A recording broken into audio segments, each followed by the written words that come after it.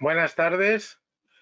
Vamos a dar comienzo a esta sesión desde IMF Business School sobre COVID-19 e impacto en la seguridad alimentaria. Bienvenidos todos los asistentes. Soy César Nombela, catedrático de microbiología y asesor de IMF para biomedicina. Mi experiencia es como catedrático de microbiología en la Facultad de Farmacia. Soy también académico de la Real Academia Nacional de Farmacia. He sido presidente del Consejo Superior de Investigaciones Científicas y rector de la Universidad Internacional Menéndez Pelayo. El tema que nos reúne esta tarde es la pandemia provocada por la emergencia del coronavirus SARS-CoV-2, que es como que es como se denomina este virus em, en la taxonomía habitual de la, de la Comisión Internacional de Taxonomía de Virus.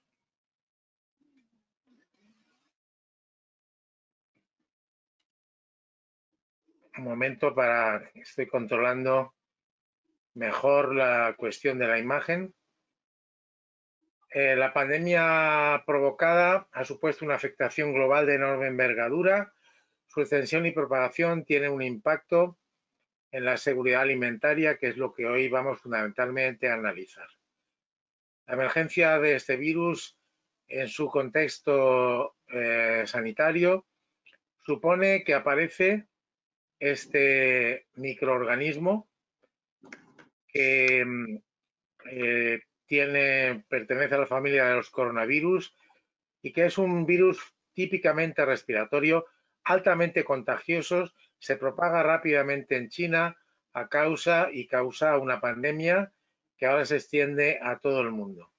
Hay varios puntos de referencia que comentar. En primer lugar, es, el virus es un compendio de novedades que desafían continuamente la capacidad de diagnosticar y tratar la infección. Se conoce rápidamente su genoma, con lo cual se encaja claramente en la historia natural de los coronavirus de, animales. Tiene una patogénesis complicada. Se constata rápidamente la necesidad de tratar a los enfermos, porque aunque los hay asintomáticos, hay algunos muy graves y la clínica comienza a hacer lo que puede que es un tratamiento empírico, compasivo, muchas veces fuera de indicación. Al mismo tiempo se inician una enorme cantidad de ensayos clínicos para demostrar la utilidad de algún fármaco como indicación para combatir este virus y se trata también, se hace un esfuerzo notable en desarrollo de vacunas, así como otras terapias, sueloterapia, terapias especiales, etc. El curso clínico se ha divulgado mucho, como he dicho, muchos son asintomáticos, pero otros desarrollan una neumonía que acaba siendo grave con unos síntomas típicos de tos seca, fiebre, dificultad respiratoria, fatiga, afectación pulmonar y un cierto grado de mortalidad que es mucho más elevada en edades más avanzadas. Luego me disculpen. Como estaba diciendo, se pudo conocer muy pronto, en enero de este año, el genoma del virus y utilizar los procedimientos habituales para el diagnóstico eh, de laboratorio y la detección del virus por los procedimientos habituales. El virus tiene un genoma bien caracterizado, no puedo detenerme mucho, pero es el genoma típico de los coronavirus. Voy a proseguir. El genoma digo que es el típico de un coronavirus que codifica 14 proteínas en las que destacan algunas como esta proteína S que forma parte de las espículas que le dan el aspecto de corona. El conocimiento del virus y de sus proteínas y de sus componentes, su, su RNA como codificador de las proteínas es muy completo y esto nos permite detectar el virus en los enfermos o detectar el virus en los ambientes. Nos permite conocer además los procesos de multiplicación. El virus invade las células del organismo, reconoce en ellas em, determinadas proteínas, se introduce, se multiplica en, el interior de la célula, se adueña de sus funciones, copia, em, transcribe en primer lugar, traduce, perdón, el RNA mensajero del virus para formar sus propias proteínas. Después estas proteínas replican, hacen copias del RNA, el virus se ensambla y, se libera en la célula. Al cabo de unas seis o siete horas, una célula produce miles, miles de estos virus. El virus se replica, se multiplica, etcétera, con una enorme profusión en las células del organismo humano. La actividad viral da lugar a una infección que en algunos casos tiene un estadio con unos síntomas iniciales. Si la cosa progresa, llega a un estadio de fase pulmonar con afectación importante y finalmente a una respuesta inflamatoria que en los casos más graves puede llegar a ser mortal. Este es el, eh, el esquema general de cómo este virus se comporta como agente patógeno para los seres humanos. Eh, nos interesa en esta conferencia, como hemos dicho, eh, la cuestión relacionada con la seguridad alimentaria y para eso es pertinente comentar en primer lugar que este es un virus de origen zoonótico, es decir, el virus pasa de los animales al hombre, eso significa la zoonosis, una infección que puede pasar del animal al hombre y que ahí se establece. El murciélago es el origen de la mayor parte de los coronavirus humanos conocidos, que hay bastantes, y de muchos tipos. El coronavirus, eh, el, perdón, el murciélago es el gran reservorio portador de este virus. Es un mamífero volador que tiene además mucha importancia en los ecosistemas, ayuda en la polinización, dispersión de semillas, controla plagas y vectores, a pesar de ese aspecto que para muchas personas pues no resulta demasiado agradable. Hay muchos coronavirus del murciélago y se sabe por antecedentes de etapas anteriores que en 2002-2003 emergió uno desde el murciélago llegando a través de un animal llamado la civeta en China al ser humano, produjo afectación pulmonar similar a la actual. Eh, sin embargo, se extinguió en, en ocho meses aun cuando se propagó a varios países y causó 8.000 y pico casos y más de 800 muertes. Diez años después emergió en Oriente Medio otro virus de murciélago que llegó a la especie humana a través de los camélidos y de la leche de estos animales y que también produjo una afectación seria en algunos seres humanos, pero que también estuvo autocontrolada. ¿Qué ha pasado con el SARS-CoV-2?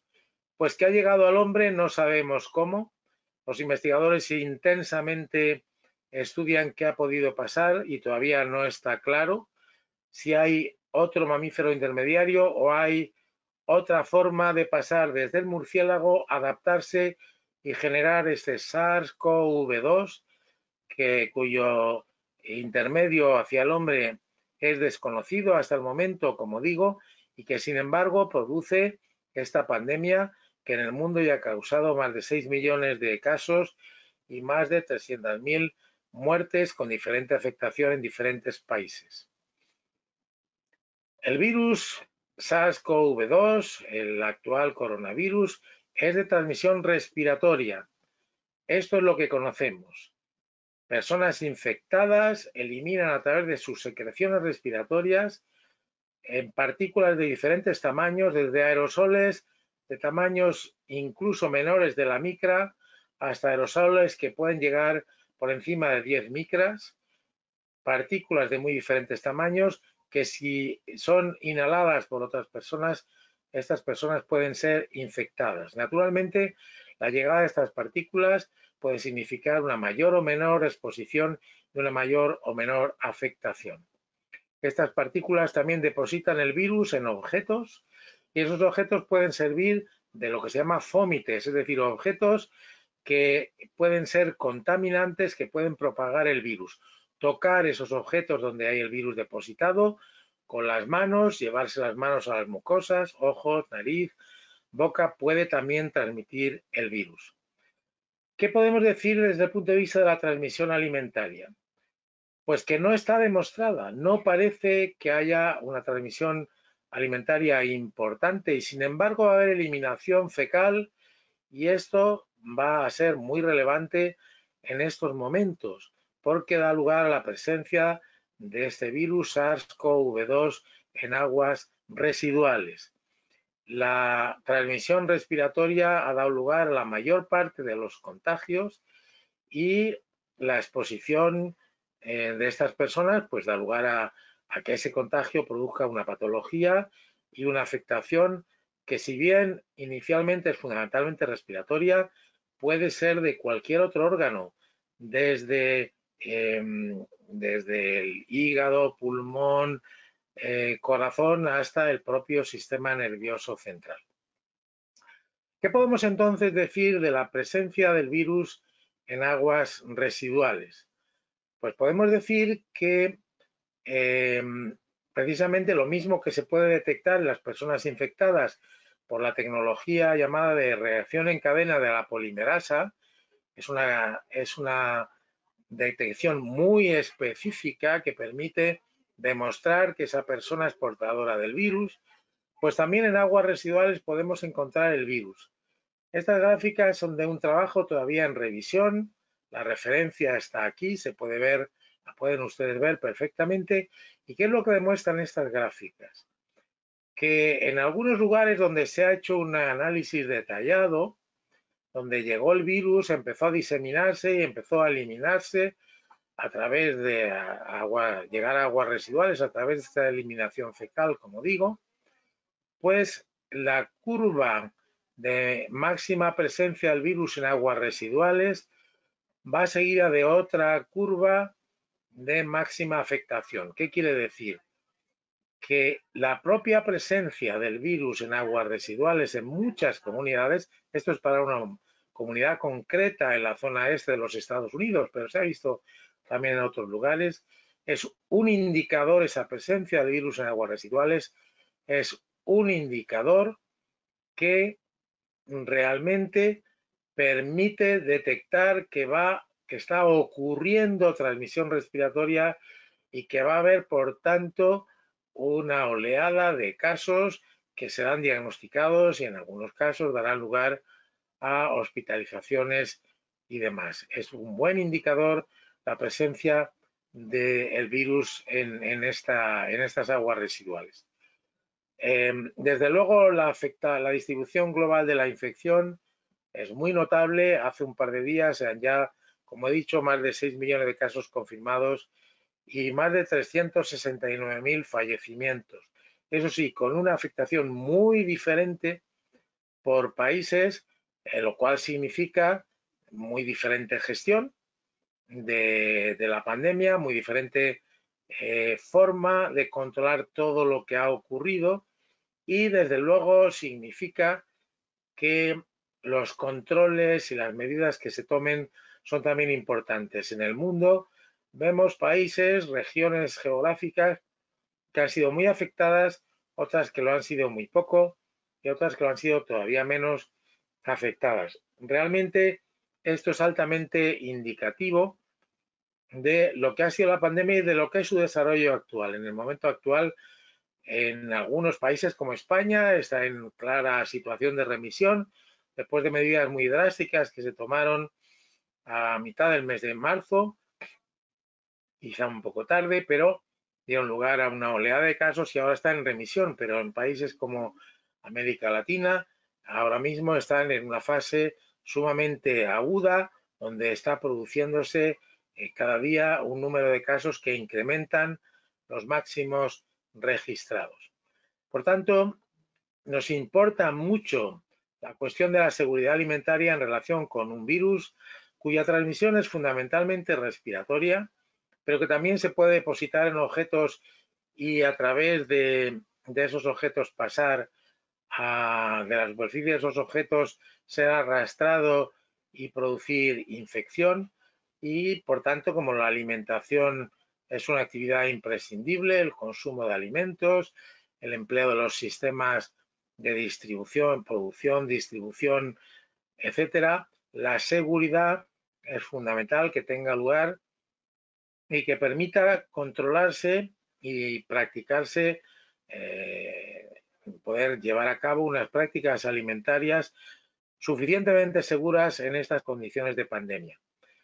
Todo esto eh, será objeto de una exposición mucho más detallada que la mía, puesto que es el tema fundamental de la conferencia, por parte de la profesora Montaña Cámara. Muchas gracias, César. Buenas tardes a todos los asistentes. Eh, quiero expresar mi agradecimiento a IMF Business School por la organización de este seminario sobre un tema que para mí es de gran interés, la seguridad alimentaria, y además por permitirme eh, compartir esta masterclass con el profesor César Nombela, un auténtico referente académico y alguien por quien yo tengo un especial aprecio profesional y personal. Eh, yo soy catedrática de Nutrición y Bromatología en la Facultad de Farmacia de la Universidad Complutense de Madrid, donde he desarrollado mi actividad académica e investigadora. Codirijo el máster propio en la UCM de Seguridad Alimentaria Tuve responsabilidades de gestión en la Universidad Internacional Menéndez Pelayo. Bueno, y eh, para terminar, eh, tengo el honor de presidir el Comité Científico de la Agencia Española de Seguridad Alimentaria y Nutrición. Eh, en esta sesión de esta tarde, una vez vista la emergencia del virus SARS-CoV-2, el contexto ecológico y sanitario, la propagación y la incidencia de esta pandemia, eh, COVID, la enfermedad COVID-19, vamos a ver eh, algo más en detalle los riesgos de esta pandemia para la seguridad alimentaria desde un enfoque de, de análisis del riesgo para terminar con el impacto sobre la nutrición. Voy a utilizar como hilo conductor la última diapositiva que ha mostrado el profesor Nombela. Este es un estudio del investigador eh, griego Galanakis, recientemente publicado, que habla de precisamente de cuál puede, es el impacto de esta enfermedad COVID-19 en los sistemas alimentarios y eh, establece cuatro áreas. Dos de ellas están directamente relacionadas con el concepto de seguridad alimentaria. La disponibilidad, que va a condicionar la, la existencia o no de alimentos y la inocuidad, es decir, esa seguridad, esa ausencia de patógenos, que es por la que voy a empezar.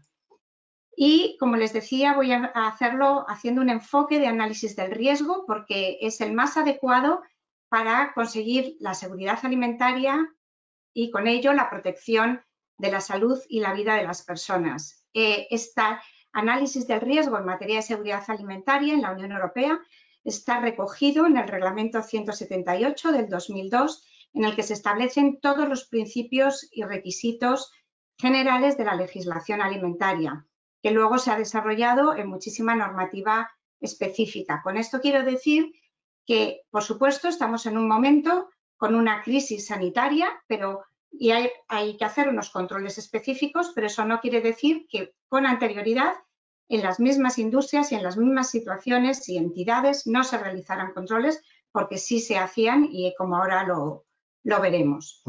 Cuando hablamos de análisis de riesgos tenemos que definir tres escenarios completamente diferentes. El primero es la evaluación. La evaluación debe ser basada en la ciencia. Una vez que se conoce cuál es el peligro y cuál es la gravedad de ese peligro, hay que gestionarlo y ahí entran ya las decisiones políticas, aunque yo voy a abordar también una parte de gestión como consumidores. Todos podemos gestionar nuestra seguridad alimentaria en parte.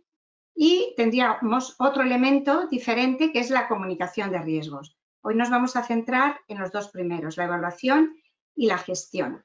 Lo primero, a la hora de evaluar del riesgo, que, estoy, que vuelvo a decir que es un eh, proceso independiente y es de ámbito científico, lo que hay que hacer es identificar cuáles son los efectos adversos para la salud de los consumidores, porque estamos hablando de alimentos, derivados de su exposición a agentes patógenos. Los agentes patógenos que nos podemos encontrar en los alimentos, es decir, los peligros, pueden ser de índole química, física o biológica, como podría ser el caso que nos ocupa hoy, el virus SARS-CoV-2, que sería un peligro biológico. Además, primero hay que ver hay que caracterizarlo y hay que ver si está o no está su presencia en los alimentos, pero con independencia de esta presencia, cuáles son las consecuencias de esta, esta mm, infección en el caso de que nos infectemos por el virus del SARS-CoV-2. Bueno, pues dentro de las consecuencias lo más grave es la letalidad, es decir, la, causa de muerte y la probabilidad que tengamos. Una vez identificado el peligro, este virus, conocidas las consecuencias, que lógicamente tampoco son iguales para todos los grupos de población, pero sí que se van conociendo más cosas, hay que valorar el riesgo. Y aquí entra el grado de exposición. El grado de exposición va a depender de la cantidad, es decir, de la carga del virus que podamos tener en contacto con los alimentos, el tiempo de permanencia y la frecuencia con la que estemos expuestos a ese agente patógeno, en este caso este virus. De manera que el riesgo de contaminación por el virus SARS-CoV-2 no es únicamente dependiente del peligro, que lo es, sino más que nada de la exposición, de manera que si controlamos esta exposición, pues podemos disminuir el riesgo.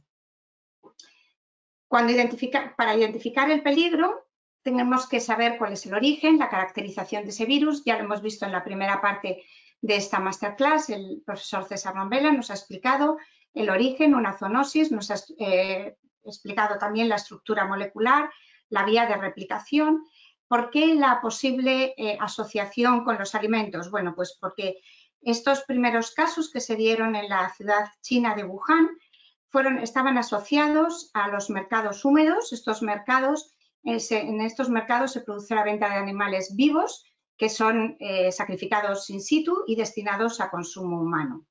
la coincidencia es que en muchos de estos mercados húmedos las medidas de higiene y de salubridad básicas no se no se mantienen.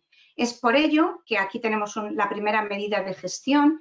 El pasado 21 de mayo, las autoridades de Wuhan han decidido prohibir la caza, consumo y venta de animales salvajes por un tiempo de, cinco años. Para mí, particularmente, este tiempo me parece muy corto porque una actividad que se suspende durante cinco años muchas veces se abre la vía de que se pueda seguir manteniendo a baja escala en condiciones ilegítimas. Un tiempo de prohibición más largo pues habría dado un mayor nivel de seguridad. Pero bueno, esto como siempre puede ser, espero que revisable. Ya, ya tenemos identificado el virus, sus características, hemos visto parte de la, de la transmisión, la transmisión aérea, persona a persona. el profesor Nombela nos ha hablado también de la posible, de la presencia que se está detectando eh, del virus en heces, con lo cual tendríamos, pues, eh, si no mantenemos unas buenas normas de higiene, una posibilidad de contaminación fecal-oral, pero lógicamente va a haber una contaminación de aguas residuales. Este es un tema muy novedoso en el que eh, está empezando a generar ahora bibliografía científica, pero es algo muy importante por la gráfica que nos ha mostrado el profesor Nombela de cómo esa presencia del virus en aguas residuales se corresponde la gráfica perfectamente con eh, un aumento de número de casos de la enfermedad. Si hablamos de aguas residuales, nos podríamos plantear qué pasa con el agua de bebida. Bueno, tengo que decir que no, eh, este virus no está presente en la red de agua potable porque eh, está, por definición, este agua ha sufrido un proceso de potabilización y de desinfección en el que eh, posteriormente hay que pasar unos controles y se ve que no hay ningún eh, patógeno para el ser humano. De igual manera, las aguas minerales naturales y las aguas de manantial envasadas para consumo humano que no sufren esos procesos de esos tratamientos, esa potabilización, se envasan, sí que tienen, previo a su comercialización, que pasar un control de calidad y, lo más importante, que tienen que garantizarse la seguridad microbiológica. Pero eh, tengo que decirles que ayer en el, en el, Consejo de Ministros se aprobó la Estrategia Española de Economía Circular. En esta estrategia de los distintos objetivos, uno de ellos es mejorar en un 10% la eficiencia en el uso del agua. Esto es algo realmente muy importante. El mensaje que se va a trasladar y las medidas de gestión que desarrollará el Gobierno van encaminadas a potenciar el consumo de agua no envasada y para ello van a fomentar el, uso de fuentes de agua potable en condiciones que garanticen la higiene y la seguridad alimentaria en espacios públicos y también van a, articular medidas para que en los establecimientos del sector de hostelería y restauración se ofrezca agua no envasada de manera gratuita, siempre que el ayuntamiento o la empresa que lo suministre garantice que es apta para el consumo humano y que por lo tanto presenta las condiciones sanitarias exigibles. Con esto lo que hago es poner en alerta a que eh, estas aguas eh, se pueden consumir siempre que eh, hayan pasado los controles, siempre que sean realmente agua potable, bien en fuentes públicas o bien suministradas en lugares que lo garanticen y alertar al no consumo de agua si no se sabe que realmente es agua potable. Bueno, como medidas de gestión del riesgo, eh, una vez pasada la parte científica, decía la gestión del riesgo son medidas políticas en control en, Europa, el control de calidad en la Unión Europea está bajo el reglamento que he mencionado anteriormente, el 178 del 2002, y abarca toda la cadena alimentaria, desde el sector primario, producción, transformación, comercialización, venta, distribución, absolutamente todos los eslabones. Y todas las incidencias se recogen en lo que se conoce como el RAPS, que es el Sistema Rápido de Alertas Alimentarias de la Comisión Europea, que cada año emite un informe y es cierto que el mayor número de notificaciones es por microorganismos patógenos, es decir, por presencia de microorganismos patógenos en los alimentos. Nos podríamos preguntar qué es lo que ocurre entonces con el microorganismo objeto de, esta preocupación en estos momentos. Bueno, pues en marzo, el 9 de marzo del 2020, la Autoridad Europea de Seguridad Alimentaria publicó esta nota en la que indicaba que en la actualidad no hay pruebas de que los alimentos puedan ser una fuente o vía de transmisión probable del virus. En cualquier caso, es importantísimo evitar la presencia del virus en la cadena alimentaria, aunque simplemente sea por contacto. Es por ello que desde la producción, transformación, comercialización y consumo se han tomado medidas, se han reforzado en todos los puntos las medidas de higiene, ha habido en algunos casos también reorganización de procesos a todos los niveles, como decía.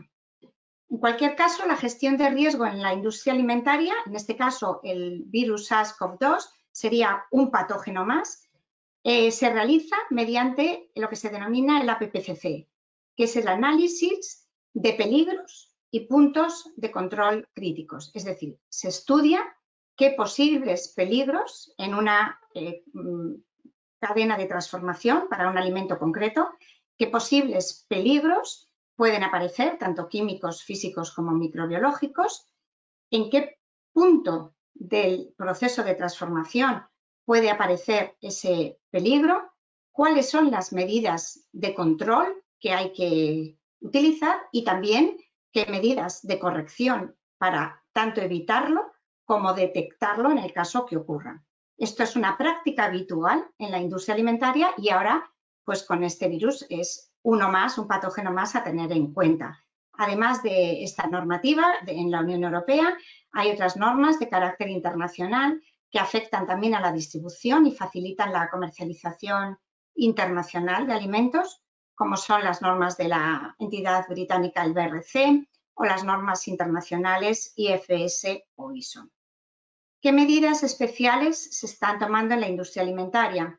Bueno, pues el teletrabajo que eh, ha sido recomendado para toda la población no es posible en todos los eh, puestos de trabajo de la industria alimentaria. En algunos se está manteniendo, pero en otros se requiere presencialidad. En esos casos, pues los trabajadores se someten a controles de temperatura, se establecen turnos, se escalonan las horas de entrada y salida, se procura una distancia social, se hace un uso más intensivo de los eh, em, EPIs que sean necesarios, pero decir que estos em, sistemas de protección en la industria alimentaria son habituales, no solo mascarillas o guantes, son también gorros, son también calzas, son zapatos especiales, son trajes especiales, o sea, eso ocurre de manera habitual. Ahora con más preocupación, pero es una práctica habitual en la industria alimentaria. Y se incide aún más en la limpieza y desinfección de superficies.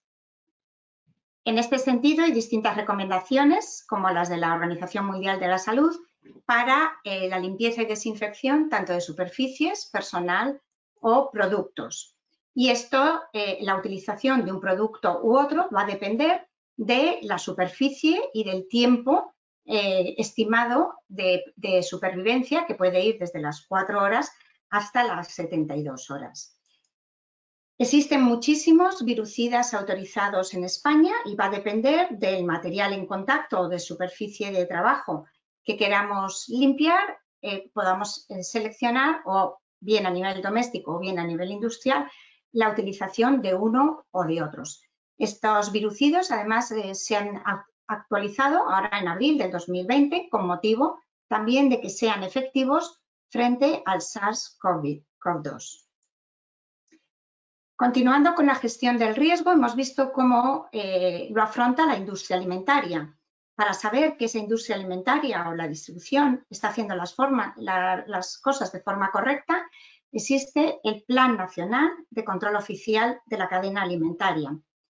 En las actuaciones que se están llevando a cabo, más específicas, son el, el control en las centrales hortofrutícolas, las lonjas de pescado, los mataderos, la distribución de alimentos, grandes superficies y supermercados, los establecimientos de comida preparada, porque eh, si bien el canal Oreca estaba cerrado, estos, eh, hay ciertos eh, establecimientos que se han dedicado al reparto de comida a domicilio y estos también requerían control. Y ahora, una vez que pasamos a la fase 1 y, siguientes, pues el control en la apertura de restaurantes y cafeterías. Hemos visto en algunas noticias la presencia, o se ha cuestionado la presencia del virus eh, en distintos mataderos de distintas localizaciones geográficas en Estados Unidos, Alemania, etcétera. Decir que esta situación no es debido a una contaminación del producto alimenticio, en este caso la carne, esto es debido a que estas, eh, esta actividad, que es considerada actividad esencial y se ha mantenido durante todo el estado de alarma, hay que mantener, como ven en esta fotografía, pues unas medidas de control de distancia de mamparas muy adecuada, pero que en algunos casos, si estas condiciones higiénicas no se, no se dan, ¿qué es lo que ocurre? Pues lo que ocurre es que hay gran densidad de personal, en algunos casos no se respetan los turnos de trabajo y muy importante, en algunos casos estos trabajadores son poblaciones inmigrantes que comparten también residencia habitual, de manera que esa convivencia intensiva tanto en el lugar de residencia como en el lugar de trabajo ha hecho que sea más fácil esta eh, contaminación y esta transmisión del virus. Pero vuelvo a decir que es a nivel de persona a persona y no afecta, de momento, por lo que sabemos, al producto alimenticio, que es la carne y derivados cárnicos. Decía al principio de mi charla que si bien la gestión del riesgo eh, entraría, hay una parte que es una parte política, que hay que establecer medidas de gestión. Considero que todos como consumidores tenemos también nuestra parte de responsabilidad. Y es porque si bien nos están diciendo que los alimentos no es la vía de transmisión importante, la Agencia Francesa de Seguridad Alimentaria sí establece que los alimentos podrían provocar una contaminación indirecta al tocarlos. Es por ello que es más importante aún mantener un adecuado eh, higiene, mantener un lavado de manos, no manipular alimentos, eh, esto me estoy refiriendo en la compra, no manipular alimentos distintos de los que vayamos a comprar, es decir, llevar una compra planificada, mirar en el lineal, observar y decidir qué es lo que vamos a adquirir y cuando lo sepamos lo eh, cogemos y lo llevamos al carrito de la compra o lo que queramos. También es muy importante el uso de guantes desechables en la zona de frutas y hortalizas del supermercado porque en estos productos hortofrutícolas muchas veces son de consumo directo, es decir, que no se van a, no vamos a aplicar un tratamiento térmico que destruiría el virus, pero al ser de consumo directo la higiene debe ser aún más adecuada. Distintas eh, instituciones, como es la Agencia Española de Seguridad Alimentaria, el Ministerio de Sanidad o recientemente la Asociación Médica Americana, han publicado distintas recomendaciones para los consumidores de manera gráfica. Todos ellos son coincidentes en los elementos básicos de las medidas de protección, de los elementos de protección individual para evitar ese contagio eh, por la dispersión de esa nube de microorganismos asociado a las partículas, también por las manos, el uso de, guantes, etcétera, rapidez en la compra y demás instrucciones. Son todos muy coincidentes. ¿Qué podemos hacer a nivel doméstico? A nivel doméstico, lo primero que debemos hacer es eh, desechar el embalaje exterior en el que hemos adquirido eh, ese alimento.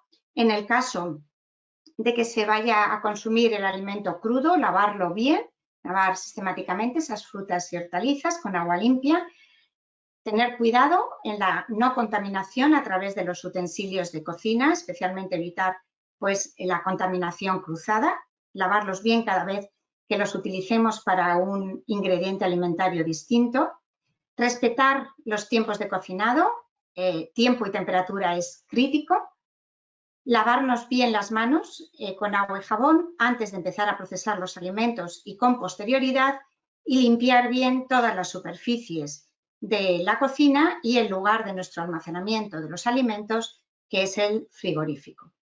Bueno, pues para terminar este aspecto de, inocuidad, yo considero que minimizar el impacto de la enfermedad COVID-19 en la seguridad alimentaria es tarea de todos Conocemos el peligro de la exposición al virus SARS-CoV-2, conocemos la letalidad, de manera que si nosotros minimizamos esta exposición, estamos minimizando el riesgo. Voy a abordar ahora el otro elemento de la seguridad alimentaria, que es la disponibilidad. Y lo abordo porque aquí nos podríamos encontrar la no disponibilidad, nos llevaría al desarrollo de riesgos nutricionales. Hay que decir esta pandemia está teniendo un impacto global, pero con distinta incidencia. Distinta incidencia tanto en grupos de población, ya hemos visto eh, los grupos de más, edad más avanzada, también hombres, determinadas patologías, son, eh, son poblaciones más vulnerables para cursar esta enfermedad, pero también tenemos que ver desde el punto de vista de disponibilidad que las poblaciones con menos recursos sanitarios y económicos son más vulnerables y en este caso se puede ver comprometida la accesibilidad. Es decir, nos podemos encontrar con suficientes alimentos, alimentos disponibles, pero no tener los recursos económicos para poder adquirirlos. Con lo cual, pues aquí tenemos una problemática nutricional importante. Les recomiendo que visualicen la entrevista que se publicó esta semana en el periódico El Digital, que entrevista que dio Máximo Torero, el economista jefe de, Desarrollo Económico y Social de la FAO, en el que aborda cuál es el impacto de la globalización en la cadena eh, de suministros y cómo amenaza la seguridad alimentaria en todo el mundo. Eh, en España eh, no hemos notado este impacto porque el sector primario, si bien en la situación previa a la declaración de la pandemia. Era un sector que pues, planteaba problemas, eh, tenía eh, estaba planteando ciertas reivindicaciones. Desde el momento que se declaró el estado de alerta, hemos tenido suministro de alimentos, eh, todos los trabajadores volvieron al campo, las granjas, los cultivos han estado al máximo de rendimiento, han estado proporcionando materias primas a la industria alimentaria. La industria alimentaria también, aunque ha modificado sus procesos, ha seguido trabajando, ha dado eh, eh, productos terminados que han sido transportados por todos los elementos de logística. La distribución alimentaria también ha dado un gran servicio. Puntualmente hemos podido tener algún día que algún producto no ha estado disponible, pero enseguida ha habido una reposición. No es el caso de otros lugares del mundo, incluso en Estados Unidos y zonas pues, eh, con eh, grandes recursos económicos, como puede ser California, sí que han tenido eh, problemas de desabastecimiento, nosotros no ha, sido, no ha sido el caso. El sector más dañado ha sido el canal Oreca, hostelería, restauración y cafeterías, que vieron cerrados eh, sus negocios. Sin embargo, algunos pues, mm, pudieron, mantuvieron eh, su asistencia pues, tanto a organismos oficiales, residencias de ancianos o para lo que he mencionado anteriormente, comidas para envío a domicilio. Todos ellos han donado, han colaborado y es muy importante y hay que agradecerlo y hay que resaltarlo la existencia de los bancos de alimentos y de muchísimas iniciativas públicas y privadas eh, que, que están proporcionando alimentos, pero especialmente ahora, una vez que la crisis sanitaria está remitiendo, nos encontramos que la crisis económica se está poniendo en evidencia y esta foto, tristemente, es de aquí, es de España, es de nuestro país, viendo como las colas para obtener alimentos, es decir, que esos nos encontramos con parte de, la población con esa dificultad a los alimentos, esa accesibilidad. Y eso es algo realmente preocupante. Se estima incluso que eh, el número de personas en riesgo de hambruna, una vez que pase este, esta pandemia de COVID-19 puede ser incluso el doble de lo que era antes de la pandemia. Hay países en los que ya estamos en la fase final, en la gráfica en verde o en azul, pero hay otros muchos en los que esta problemática está empezando, con lo cual no debemos relajar eh, nuestros esfuerzos de, de ningún tipo. Hay que decir también que esta disponibilidad que, de la que hemos disfrutado de alimentos es debido a que durante la cosecha 2019-2020 hubo una gran rentabilidad, es decir, fueron muy productivos los cultivos básicos, maíz, trigo y arroz. Eso hizo pues, que la industria también tuviera materias primas y hemos disfrutado de muchos alimentos. ¿Qué ha ocurrido durante la pandemia? Pues ya el escenario empieza a cambiar, porque las restricciones al movimiento de mercancías implica que aumenta el coste de tanto de las importaciones como de las exportaciones, fundamentalmente por las restricciones en el transporte aéreo. Hay muchos países que han tenido y todavía tienen sus fronteras cerradas. Eso hace que eh, de aquellos productos de los que dependía la importación no puedan recibirlos y aquellos cuyo Producto Interior Bruto depende de la exportación, pues tampoco lo hayan podido hacer. Esto nos afecta a todos. Y entonces nos encontramos dos escenarios, aquellos en los que se han suspendido las importaciones y otros países que lo que han hecho es, al revés, sobreabastecerse por, en previsión de lo que pueda ocurrir. Mi, mm, preocupación es más la problemática de qué va a pasar en el 2021, porque para tener alimentos en el 2021 deben plantarse las cosechas, deben cuidarse las granjas, debe mantenerse todo el sistema productivo. Con lo cual, pues ahora es el momento de reflexionar, de saber cómo ha respondido el sector primario y ver qué medidas eh, deben eh, adoptarse para que este sector primario nos dé garantía de tener nuevamente alimentos, junto luego con la transformación industrial, en el 2021. Bueno, pues después de toda esta problemática, las dos últimas partes de mi charla quiero cambiar un poco el, tono y cambio incluso el color y lo paso a verde. Vamos a hablar un poco más en positivo del futuro de la era post-COVID-19. ¿Qué podemos hacer para tener esa cantidad de alimentos y que además esos alimentos sean seguros? Bueno, pues eh, siguiendo con el trabajo que les mencionaba anteriormente, se, habla de la sostenibilidad, pero no sostenibilidad como una palabra eh, vacía. Si ponemos eh, sostenibilidad alimentaria en Google, nos salen más de 75 millones de entradas, mientras que si ponemos inocuidad alimentaria, salen 8 millones de entradas. Quiere decir que de sostenibilidad se habla mucho, pero yo no sé si se hace tanto. ¿Qué es lo que tenemos que cuidar? Pues evidentemente tenemos que cuidar el desperdicio alimentario.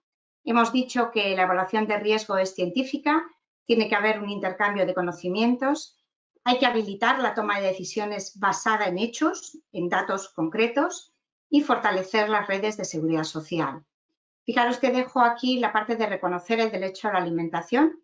No tendría por qué decirlo porque es un derecho que está reconocido en la Declaración de Derechos de Naciones Unidas y nosotros en España lo tenemos recogido en la Constitución española, pero nos encontramos que ahora muchas personas no tienen el acceso a esos alimentos. Es por ello que debemos procurar las vías de que lo tengan, pero no ya darles los alimentos, sino que esa economía pues pueda reflotar y que sean ellos y que seamos todos los que tengamos pues esa capacidad adquisitiva para cubrir todas nuestras necesidades básicas.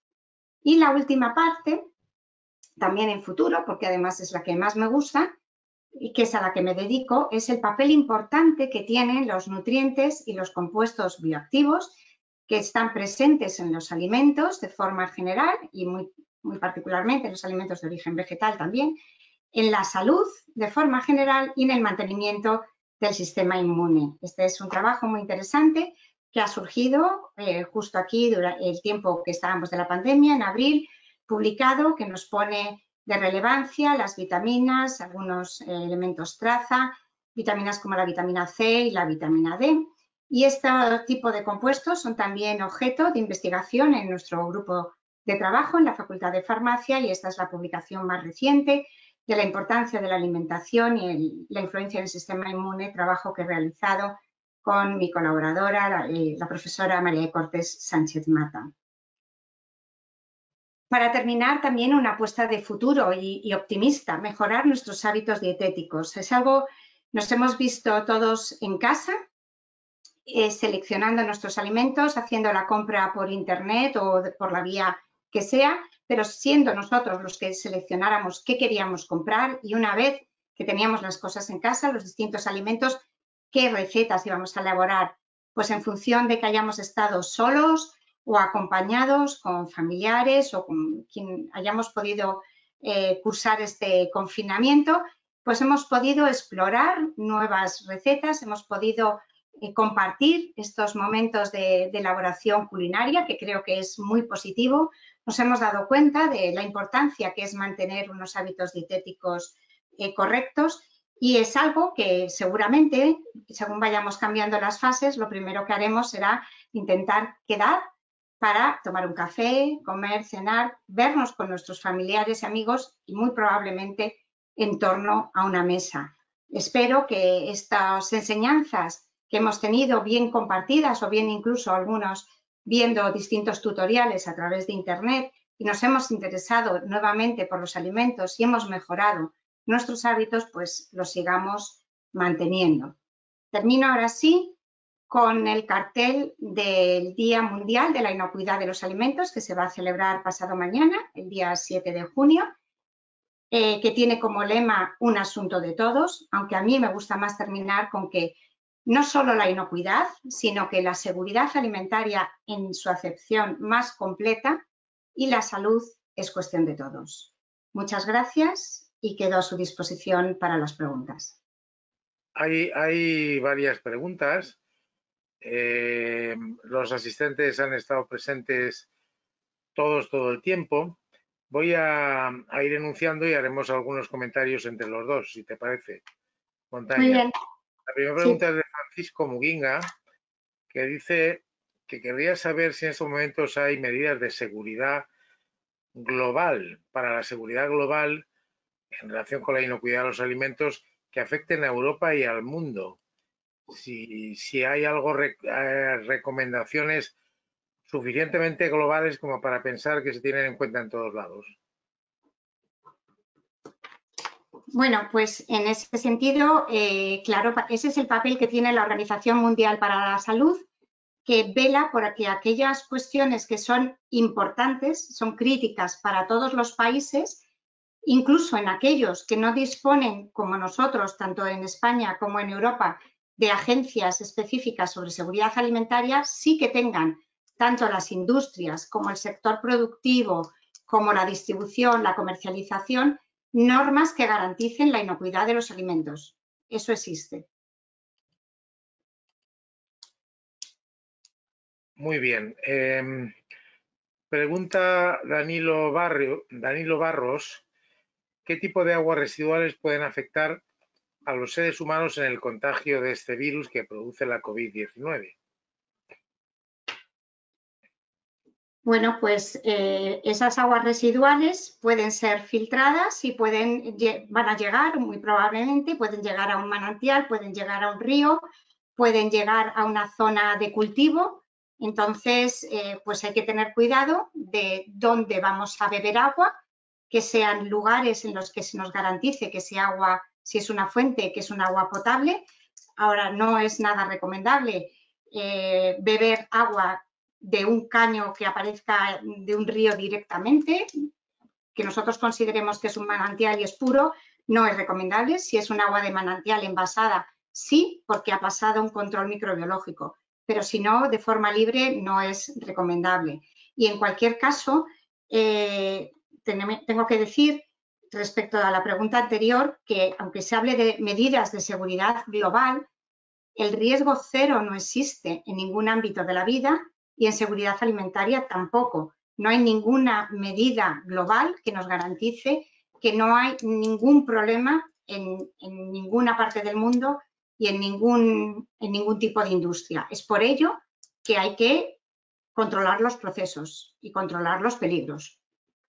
En relación con lo de las aguas residuales que iba la pregunta, sí querría añadir una cosa, que desde que surge este virus, apenas son 6-7 meses, como hemos dicho, por tanto, nos queda todavía mucho por aprender, a pesar de que se publican semanalmente 2.500 trabajos de investigación original, que ya es decir, todo mm. relacionado con el virus, su patogénesis, su diagnóstico, eh, su transmisión, etcétera, etcétera.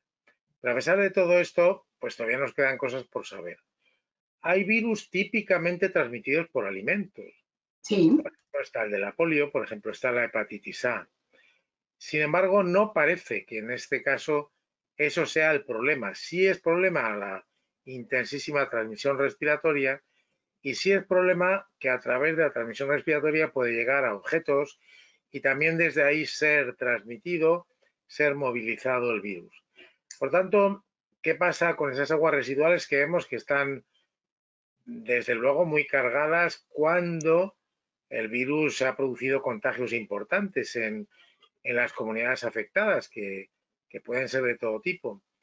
Pues realmente eh, es obvio que aguas residuales muy cargadas del virus no tenemos ninguna garantía de que no lo transmitan.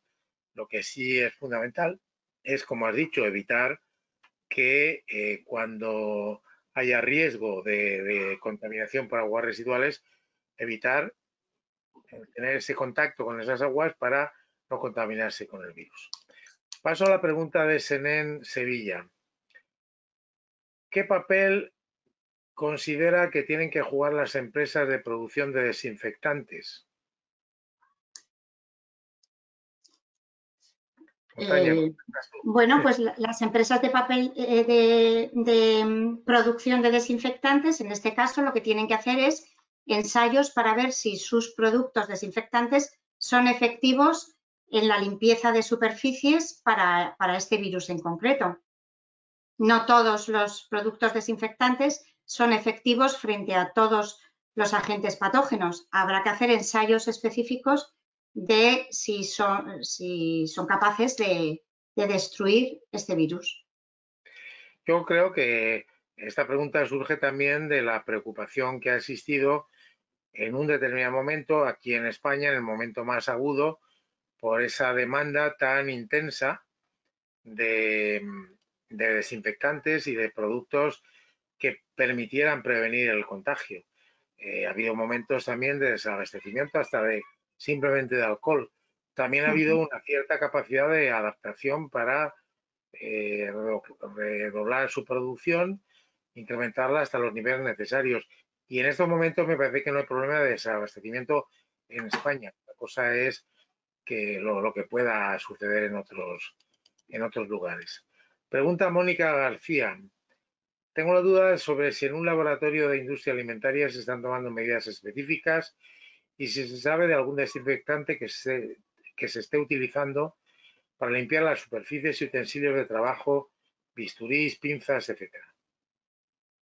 Bueno, eh, lógicamente, claro que se están tomando las mismas medidas que, en cualquier otro lugar, eh, que, van para evitar eh, la contaminación persona a persona, que es la vía de contaminación principal. Entonces, en los laboratorios, pues el, número de personas en función de la superficie de ese laboratorio, el número de personas que puedan trabajar, la limpieza de todos los elementos de trabajo en el laboratorio de control de calidad, lógicamente, las protecciones personales también. O sea que eso, al igual que en todos los eh, departamentos de esa industria, el, laboratorio de control de calidad tiene que tener esas mismas medidas de control.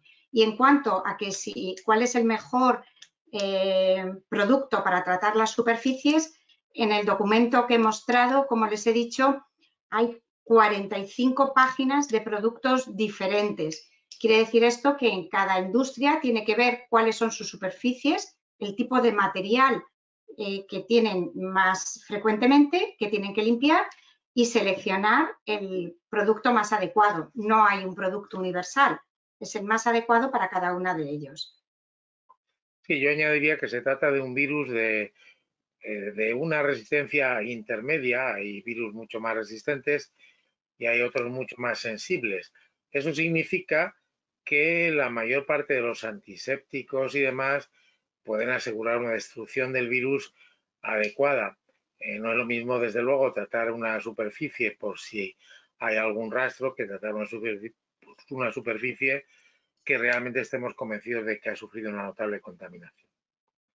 Una pregunta de Juan David Sotomonte, que ya nos lleva a reflexiones más filosóficas, pero que han tenido lugar a lo largo de la historia. Pregunta si se podría dar la teoría maltusiana, la cual propone que, en algún momento el crecimiento poblacional supere la capacidad de producción de alimentos en esta época de pandemia. Bueno, yo creo que, los datos demuestran que, tenemos alimentos suficientes, a veces mal distribuidos, y que evidentemente es cierto que hay poblaciones en las que la cantidad de alimentos no es suficiente y lo que hay que hacer es que esas eh, poblaciones sean capaces de cultivar, de producir, de manejar estos, estos alimentos. Lo que sí que está claro es que la superficie cultivable, por ejemplo, es limitada y lo que hay que cuidar es que esa calidad de, esa superficie cultivable y y tener la rentabilidad de los cultivos. Yo creo que hay que cuidar la redistribución de riquezas y hay que cuidar la formación de esas zonas en las que no hay disponibilidad de alimentos, pero podrían tener, podrían tener. Muy bien. Eh, Álvaro Graguera, que debió ser un antiguo alumno de nuestra facultad porque dice que le agrada escuchar a profesores de su época, te dirige una pregunta directamente a ti.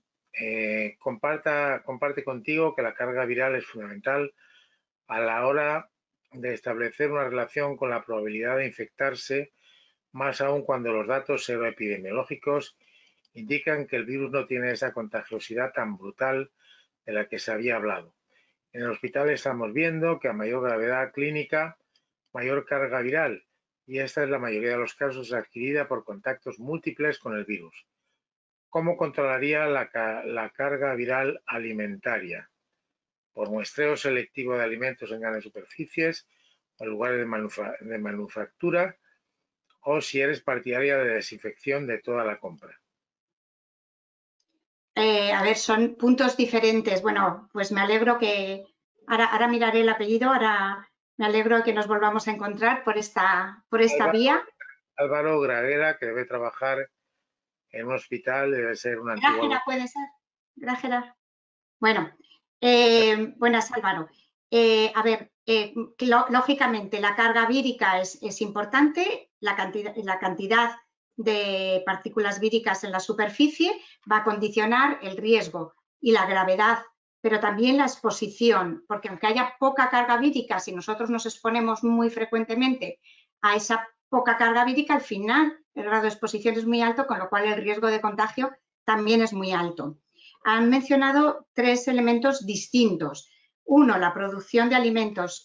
Ahí ya lo he dicho, está el sistema de APPCC, está el sistema de autocontrol, o sea, la industria lo tiene ahora mismo ya incorporado como un elemento de control más a vigilar, a identificar cuáles pueden ser los puntos eh, críticos de donde haya posibilidad de presencia del virus. Eso a nivel industrial.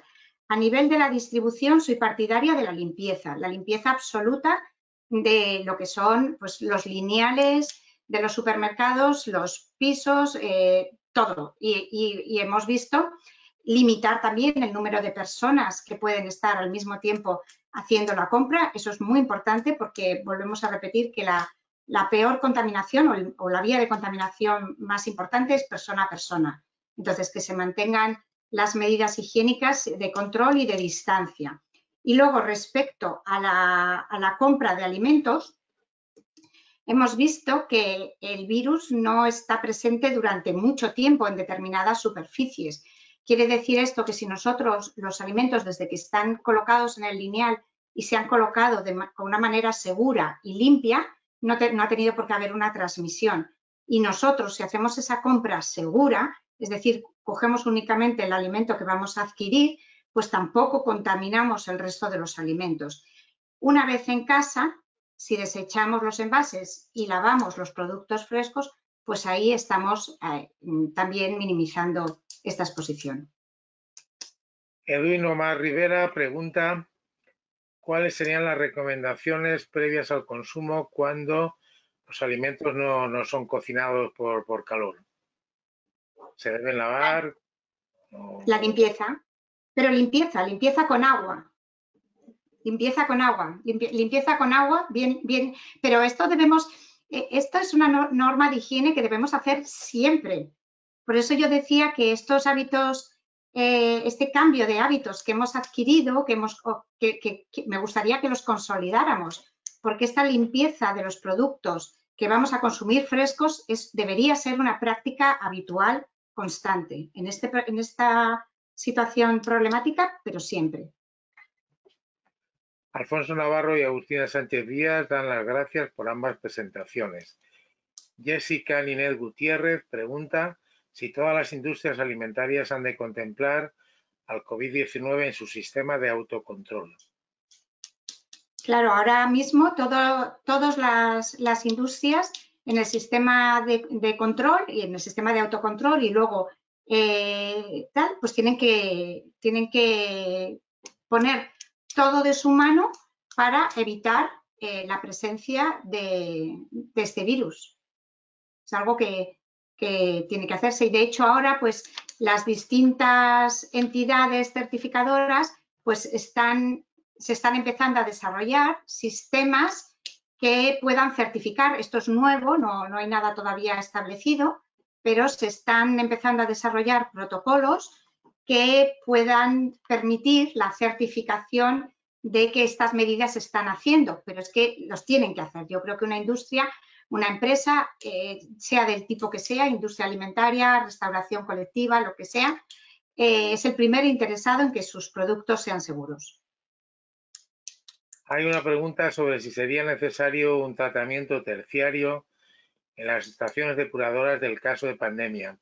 El autor de esta pregunta supongo que te suena, se llama Miguel Ángel Casermeiro. bueno, pues por lo que yo sé, hasta el momento con, el proceso de, potabilización y de desinfección no hay presencia de COVID en, las aguas que denominamos potables porque han, pasado esos procesos. Es decir, que hasta donde yo sé no sería necesario ese, ese tercer tratamiento. Pero desde luego, dado que hemos visto esa presencia en aguas residuales, es algo que hay que vigilar porque es muy importante, sería muy problemático. Sí, yo creo que, que los tratamientos habituales funcionan para este virus, no, no añade nada se tienen que efectuar y efectuar bien. Tenemos una pregunta desde el Perú. Quisiera oh. saber, desde el Perú. Sí, sí. Quisiera saber cómo están manejando los servicios de hotelería, ya que, a ver, se me ha escapado.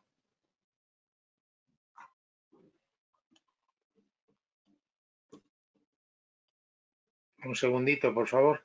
Es que esta pregunta que vino desde el Perú debería formularla. ¿Es recomendable ingerir remedios caseros para la prevención del COVID?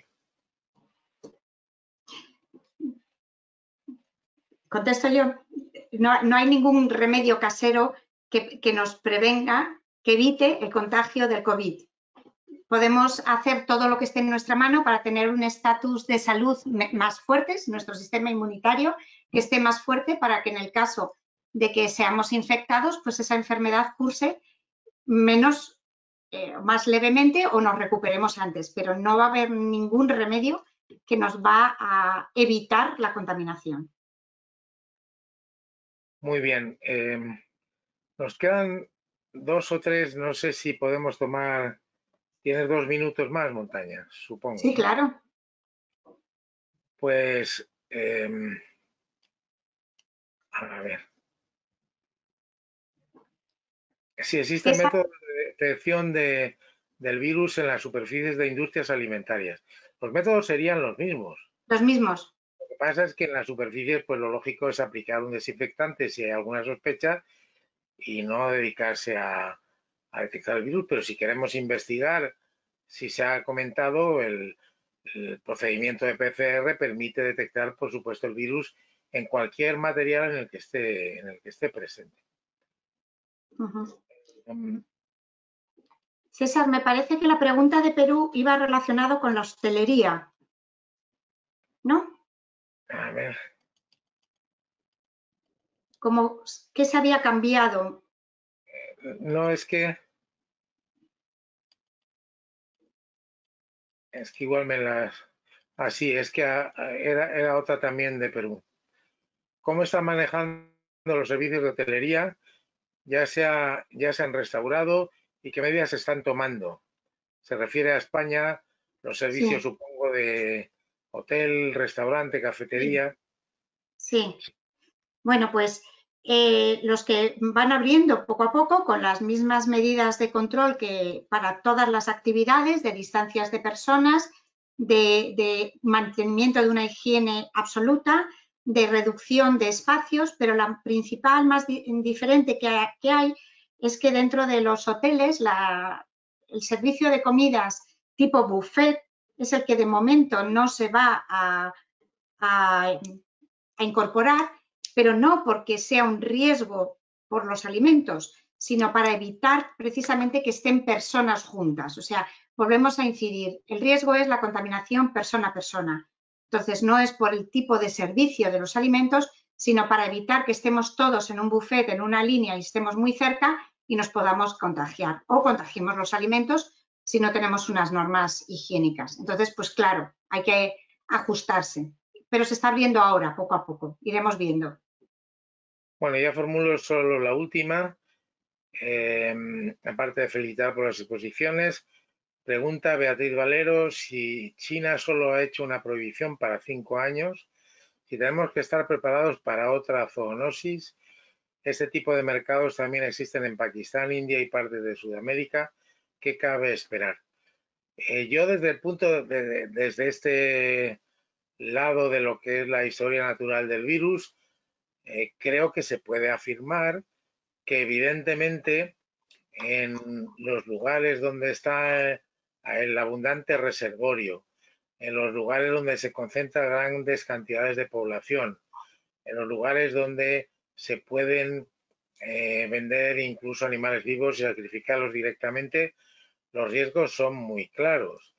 Es evidente que eh, China ya tiene medios suficientes como para permitirse prohibir esta práctica y desviar todo lo que es la distribución de alimentos por otros procedimientos. Pero en los lugares donde se siguen manteniendo prácticas de este estilo, el riesgo está ahí. Lo que sí sucede es que la ciencia nos ha permitido conocer mucho más e incluso hacer un poco de, vigilancia epidemiológica en muchos lugares en donde existe el riesgo, porque los riesgos de pandemia siguen presentes, incluso algunos desconocidos. El número de virus, em, de virus con potencial de afectar al ser humano que no se conocen todavía supera varios cientos de miles y hay un proyecto internacional muy intenso que se llama el proyecto Viroma Humano, de estudiar todos los genomas víricos, cuyo avance nos seguirá dando algunas claves para evitar este problema, pero el, problema y la, posibilidad de, que surjan nuevas pandemias están ahí y lo que hemos aprendido nos debe servir también para tratar de prevenirlo. Muchísimas gracias a todos por la participación y recuerdo también que rellenen la encuesta de calidad, por favor, así como que si alguien se ha quedado con alguna pregunta, la pudiera remitir por correo electrónico y trataríamos de contestársela en el plazo más breve posible. Muchas gracias a todos y se levanta la sesión.